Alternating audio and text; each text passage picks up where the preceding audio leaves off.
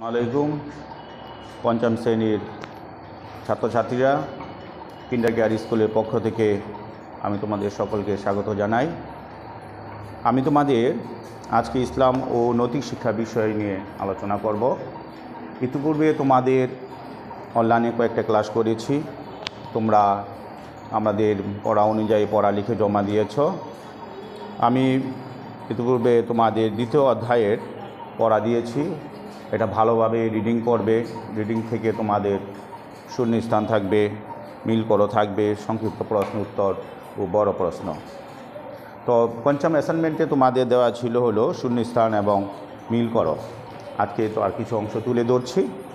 প্রথমে দেওয়া আছে হলো দ্বিতীয় অধ্যায় থেকে শূন্যস্থান পূরণ করো। যেমন একটা শূন্যস্থান আছে সালাদ সালাদ কি?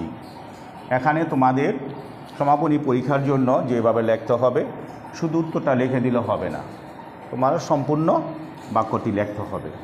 তো সালাত হচ্ছে জান্নাতের চাবি।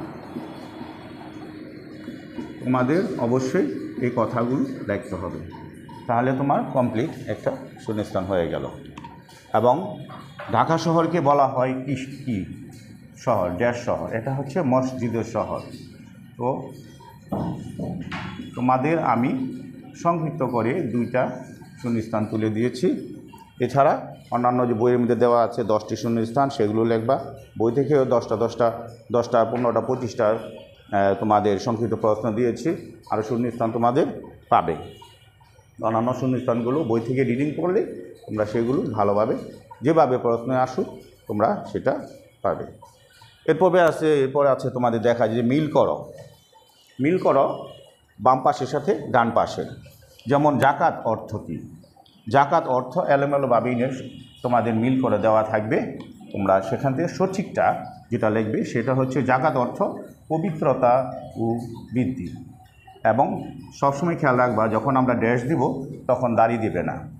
আর যদি দাড়ি না দেই, হুম, তাহলে যদি ড্যাশ দেই, তাহলে দাড়ি দিব না। আর যদি ড্যাশ না দেই, তাহলে লেখা শেষে অবশ্যই একটি দাড়ি দিবে। এভাবে মিল করগুলো লিখবে। আরেকটা দেওয়া হচ্ছে কোরবানি। কোরবানি মানে কি?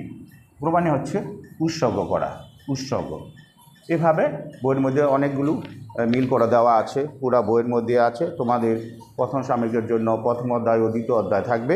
ওখান থেকে এই পরীক্ষার যেই নিয়ম আছে, সেইভাবে প্রশ্নগুলি পড়বে। তো আজকে এ পর্যন্তই। তোমরা যে সত্য অ্যাসাইনমেন্টে যে পড়াগুলো দিয়েছি, সেটা সঠিকভাবে লিখে আমাদের জমা দেবে আমরা সেটা রেখে দেব। সকলকে ধন্যবাদ।